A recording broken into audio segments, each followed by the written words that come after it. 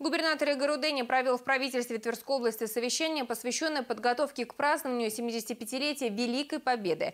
Центрами торжеств 9 мая станут города воинской славы Тверь и Ржев, а также площадка Ржевского мемориала советскому солдату.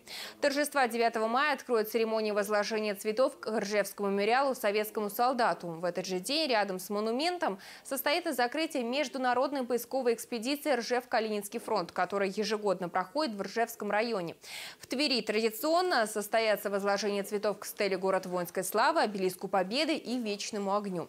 Торжественным маршем пройдут войска Тверского территориального гарнизона. В это же время в Ржеве пройдут церемонии возложения цветов на мемориальном кладбище советским воинам к обелиску советским воинам, прохождение войск Ржевского гарнизона.